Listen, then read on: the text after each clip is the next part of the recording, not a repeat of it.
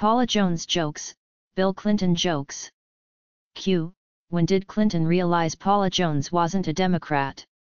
A. When she didn't swallow everything he presented. Q. What game did Bill Clinton want Paula Jones to play? A. Swallow the leader. Q. When did Bill Clinton lose Paula Jones? A. During the debriefing. Q.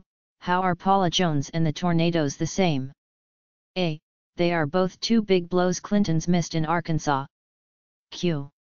What did Clinton say when Paula Jones went public with her story? A. Now she decides to open her mouth.